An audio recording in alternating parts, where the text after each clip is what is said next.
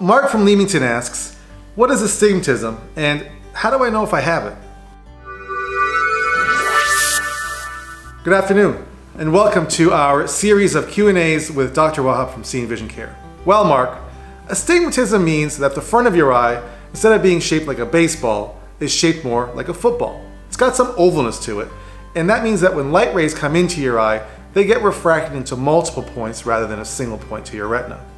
This results in blurry vision, shadows around objects, and oftentimes some night glare, starbursts, and halos around lights. Astigmatism is really common in the population, and most people are born with it.